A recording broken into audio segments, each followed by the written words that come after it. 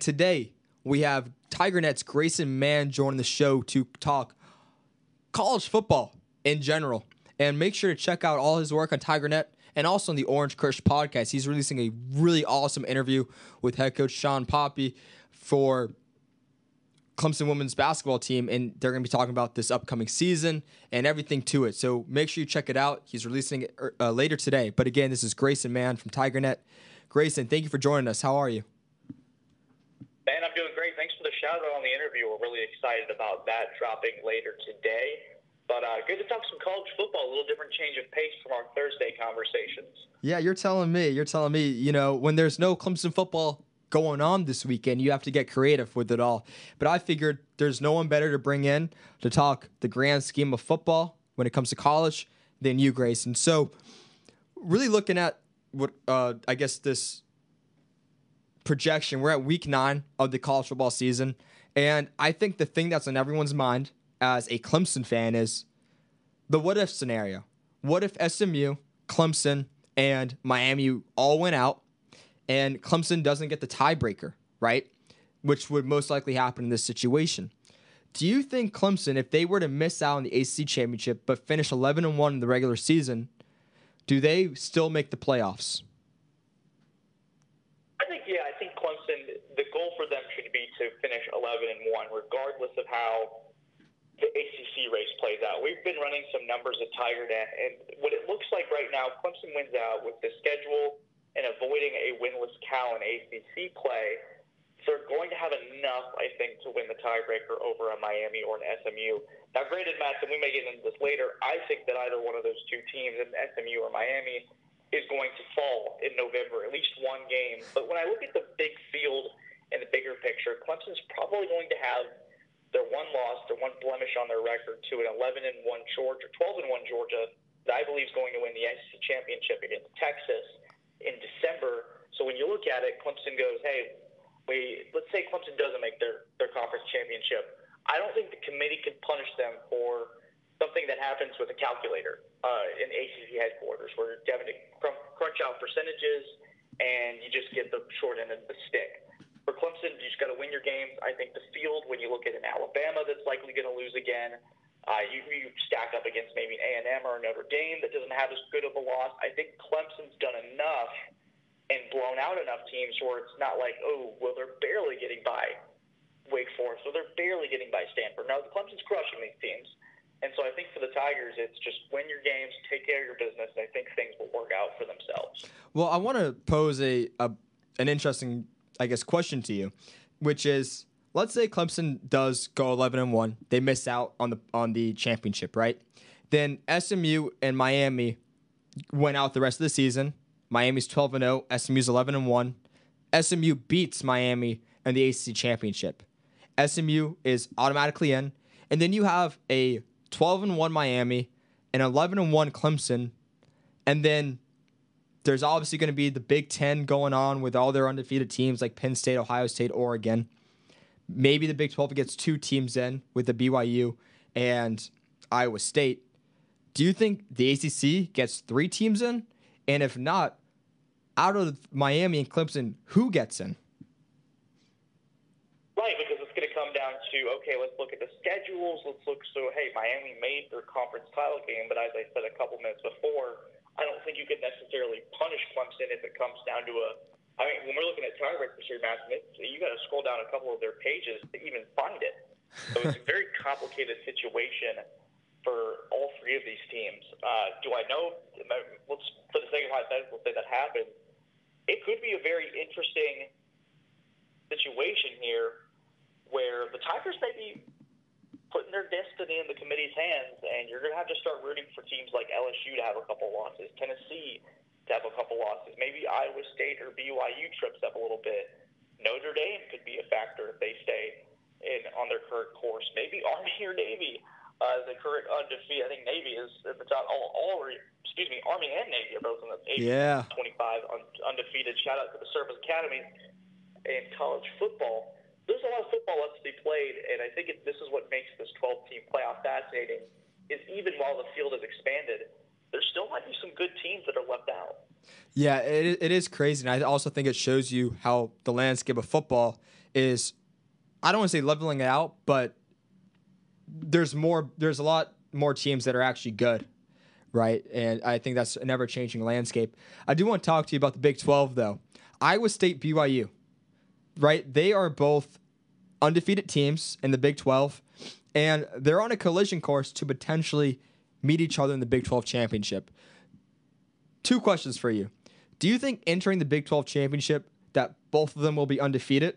And if so, do you think they both get into the playoffs? You know, I think you you and I both remember sort of texting back and forth for that Iowa State yeah. UCF. What a what a sweat of the game. Kind of what a sweat. Having to split that one out. I, I think that there's. I'm not sure I trust Iowa State as much as I do BYU. And we'll get to see BYU play the same UCF team tomorrow at 3:30. I, I could see a situation where both are undefeated, but I, it really depends on. I think what's going to be fascinating, Matson, is that first college football playoff ranking show on election night, and a couple. I think it's on 5th November, uh, about a week and a half from now. We're going to really get to see how the committee has viewed these teams from up to this point. Then we'll really get to say, okay, do they have BYU and Iowa State close? How do they maybe factor in? Do they just do a straight up top 25 and then do, well, this is what it would be if the playoffs started today. I'm curious to see how they do the show because usually it's just been a straight up, okay, these would be the top four teams and then the rest of the field. Now they're going to factor in, okay, who's technically ahead on the, in their conference race right now and how do we factor that in? I think right now I would have to give BYU a slight edge over Iowa State just because of how they've handled their business. But at the same time, if you go 11 and 1 in your conference and your only losses in the championship game, you got a lot of credibility to the committee to maybe force their hand to put two 12 Big 12 teams in. Yeah, definitely. And I didn't even know that. That's that's hilarious to me that the presidential election and the CFP rankings get released on the same day. That oh, that yeah. that's crazy to me. That's so funny. Uh, but looking at the committee, as you mentioned, we don't know what they're thinking, obviously, but most media members like to say, well, there's an SEC bias or there's a Big Ten bias. So do you think that carries into this like this first rankings, but also into the future? Like, do you think that maybe to a, a regular fan's eye, the Big Ten or the SEC sneak in a team over another conference that was more deserving? Yeah, I think it's interesting this year, especially with the realignment, Matson, where you have teams like Oregon in the Big Ten and Texas in the SEC where there are bigger brands in the big boy conferences. Uh, this is just sort of how the belly of the beast is. But I think it may be a little different this year. I know fans probably can point to the FSU situation last year, where that was probably more a Jordan Travis thing than anything else, uh, or situations in the past where TCU in 2014 gets snubbed out for an Ohio State. Uh, there's a lot of factors to uh, to look into this, Matt, and I think that once again we're going to find out a lot on November 5th about where the committee stacks teams that are sort of on the edge, like a, an Alabama. I think that's a team to watch about where they rank them. Is Alabama still in that top 12 in their eyes after a loss to Vanderbilt and Tennessee? Or is Alabama maybe in the, the mid 18? I think they're 15th right now in the AP poll. Are they a little bit further down? Or are they just right? It's going to be really interesting to see how they measure. I think that's the team to watch when you're thinking of SEC bias, if we wanted to call it that, is – okay, they have a supposedly ugly loss to Vanderbilt on the road, even though Vanderbilt's a much improved football team. Ranks Vanderbilt. Image play out. How does that image play out to the college football playoff committee?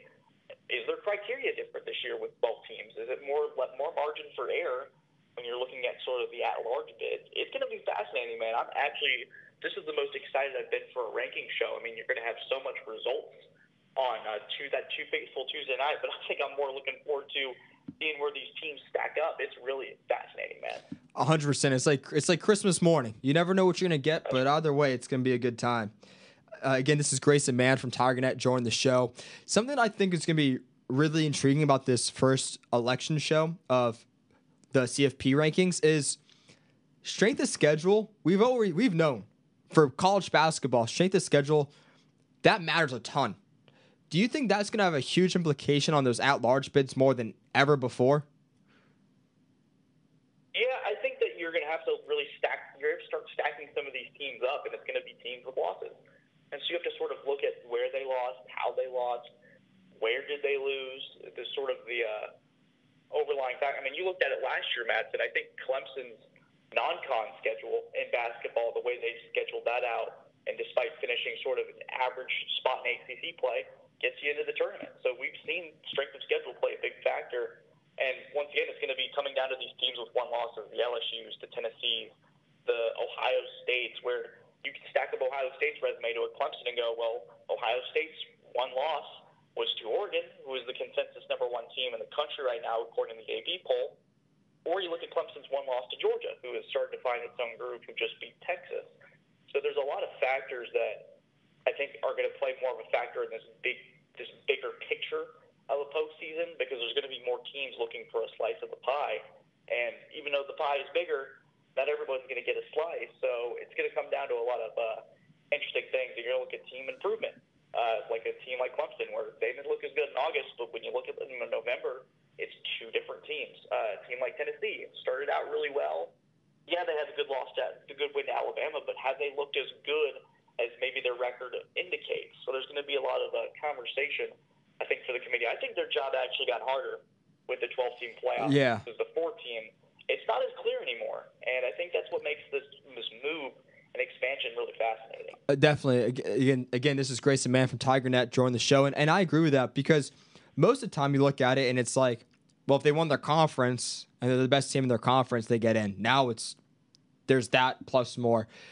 I think a good a good question to ask you now, when it comes to the whole strength of schedule comparison, I don't know if either of these teams get into the playoffs, but Indiana and Alabama. Indiana's undefeated, seven and zero. Alabama's five and two, but they have the seventh hardest strength of schedule.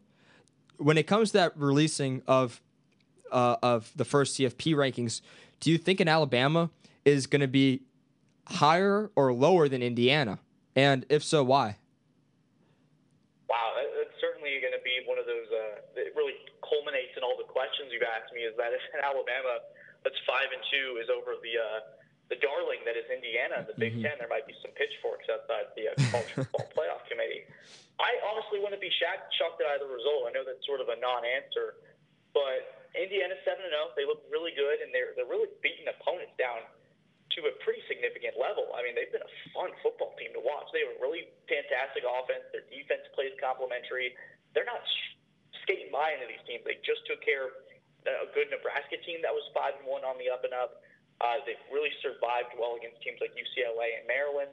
I think those two losses are going to factor in. It really comes down to how the committee views Alabama and how they've gone on the road twice and lost. This isn't home losses, which I think would have factored a little bit more. But again, it's where does the committee put Alabama? I think that answers a lot of our questions to how they're going to adjudicate the rest of the field. Is okay. This is an Alabama team that's five and two. They've got the they've got the brand. They've got the recognition as a consistent playoff team. I think those things matter. Now, will matter as much with DeBoer uh, with the headset than Nick Saban. We'll see. But I think Matson, once again, Alabama is a team to watch. If I had to pick right now, I think Indiana would be ranked higher, just because seven and zero versus five and two, regardless of how you get there, is still really impressive. Indiana is a new name uh, that's also not just skating by teams; they're blowing teams out. Yeah. Right now, I'd have to pick Indiana, but I think once again, Alabama is that team to watch within the committee. Where do they rank them? Because I think that I think that I think that gives us a good idea to where the rest of this field could play out and where this committee's headspace is at for the first 12 team playoff. Yeah, that's that's a great point. Who is the best team in college football moving forward? Right now, I have to go with Georgia. I think what they did on the road against Texas, a team that I thought was well and beyond the best team in college football, and they just went in there and outcoached them and out physical, really, to an extent. There were some moves that I saw from Kirby Smart. I know that he had, he had the meme of he looked like Emperor Palpatine executing Order 66 on that ESPN microphone interview. But man, Georgia went out there with purpose. I still have concerns about Carson Beck and how this offense operates, but I think their defense continues to be the deciding factor for a lot of these matchups. I know that they have the loss to Alabama on the road, but what they showed me against that in that second half is a team that doesn't quit and rally behind Kirby Smart. So I think if I were to pick Georgia or pick between those two, I would pick Georgia to win again in pretty handily fashion. I know Oregon right now is undefeated and they're number one. We've had a lot of rotation at the number one spot for the last couple weeks. I think right now Georgia would be my number one, and I probably have Oregon and Ohio State following closely behind them. Do you think there's a definitive number one? Do you think Georgia is really the best of the best, or do you think it's more so of an open field? I think Georgia's playing the best football right now, but I don't think that they're the same consensus number one from 2022, if that makes any sense, where yeah. you stack them on a on the same field. It's just not, not a contest. I think Georgia right now is maybe the number one team in college football, but based on what we've seen this year, doesn't this sort of remind you of 2007, where there's a lot of rotation, there's a lot of parity? It's been fun. I, think Oregon could have an argument for the number one team. Ohio State certainly does. Texas may still be able to if they're able to bounce back well against Vanderbilt. And then you got your ACC crowd hollering about Miami and Clemson, and then the SMU Mustangs are creeping slowly behind. There's a lot of good teams. Is there a great team? Maybe to me that's Georgia right now, but I would, wouldn't be confident saying there's an overwhelming favorite. I don't know if there is one. I think a lot of pundits have Ohio State and Georgia and Texas in that mix. I would I would look out for Oregon. I would look out for a Miami. I'd look out for a Clemson. There's a lot of teams right now, Matson, that could make the argument that they could win the national title. There's a lot about who do you picture holding up the trophy there's an argument for a lot of teams, and I don't think we've had that in a long time. Definitely. Again, this is Grayson Mann from TigerNet. Grayson, two more questions for you before we wrap it up. Again, make sure to check out his podcast, the Orange Crush Podcast, a great interview releasing later today. But I have my top five teams that I trust from here on out, right? In terms of who I think is like the best of the best, right? And it's not based off of necessarily the past, but the past and the future of the season. So my top five teams in order are Ohio State number one, Georgia number two, Oregon number three, Texas number four, Clemson number five. Now I know you said that Georgia is the best team in your eyes, but out of those five teams I mentioned, like, what are your thoughts on that ranking? I like it. I think I have a pretty similar list. I, I flip obviously Georgia and Ohio State, but I probably give the slight edge to Oregon right now over Ohio State just because I'm going to respect the temporary head-to-head, even though I think they're going to face off again. And you might see a seasonal split there, if not a third matchup in the college football playoff. I do think Clemson's one of the five best teams in college football right now. I noticed that none of us are giving Penn State the time of day just because of their history, and I do think that at some point when they play Ohio State, it's going to get ugly. Penn State's terrible. I don't want to hear it. Penn State's terrible. They're not. They're not a good team. none of us, neither of us are going to give them the time of day, and I think rightfully so. But yeah, Georgia, Ohio State, Oregon, uh, Texas, and Clemson are deservingly the top five teams in the country. They've shown me the most. I think Clemson's had the most growth within that five-team list, just in terms of where they started and how where they are now. They're a sneaky team, but I do want to see the Tigers play uh, heavyweight, which we'll probably get to see them play against Pittsburgh. They look pretty good. They yeah. Kyle McCord nightmares last night. Felt bad for him. Undefeated. They might be a team to factor into the ACC race if they can find a way to stay up, stay unbeaten, beat both SMU and Clemson that would be something to watch. But right now, yeah, Georgia's my number one. Ohio State, and it's almost like one A, B, and C, Matson, because I don't think there's a clear, distinct separation, if that makes any sense. I do think Georgia's the best team right now, but I don't think it's by much. Yeah, so your your tier is Oregon, Ohio State, Georgia, whatever order, but that's your first tier, and then Texas, right. Clemson, that second tier.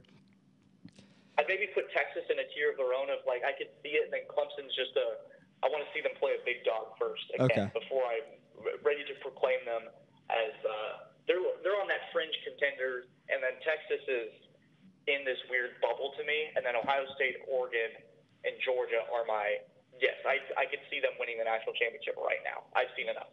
Yeah, and so in a couple weeks from now, my last question for you, Grayson. In a couple weeks, Clemson is going to be traveling to play Pittsburgh on the road after playing Louisville at home and Virginia Tech, who's a tough team, and Blacksburg. But let's just say entering that matchup, Clemson wins their next two mat or their next two games. Pittsburgh wins the rest of their schedule, and Pittsburgh's undefeated. Do you think that game against Pittsburgh? Do you think if depending how Clemson wins it and how they look, is that a game that could elevate Clemson in your eyes and also just fan bases countrywide of if Clemson's actually a good team, or is Pittsburgh more of just an undefeated team that lucked their way into it? Well, I think what we're going to see is if Pittsburgh stays undefeated, not only do I think they're going to find themselves within the top 15, I think we could have game day in Pittsburgh in a couple weeks if it shapes out like that. Because in my eyes, that's a playoff game. Uh, you have Clemson, who's one loss, who they lose another game, they're likely their at-large bid falls apart pretty quickly.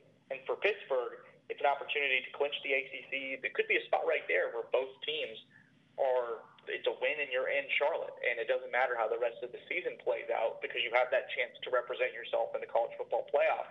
That could be one of. I think that's the matchup to watch for the rest of the way for the ACC is Clemson and Pittsburgh because I think Pittsburgh's going to stay undefeated. They're going to knock off SMU before they play the Tigers, and it's going to be a spot to say, hey, potentially you win and you're going to go face Miami in Charlotte in December. That matchup's going to be really exciting. I have my flight booked. I'm ready. Uh, can we get to mid-November already? Because I just want to see Clemson play against another team in Pittsburgh. That man, was I wrong about them? I, I think I wrote a story in the summer, Matt, in that we ranked their toughest teams to play, and I had Pittsburgh as not very high. I did not believe in the Panthers after a three and nine season last year, so maybe understandably so. But man, what a job Narduzzi has done with Eli Holstein at quarterback. They, they've been unbelievable. They've been a fun watch, and they've gotten some fans to put the butts in seats when usually those are reserved for the Steelers on Sunday.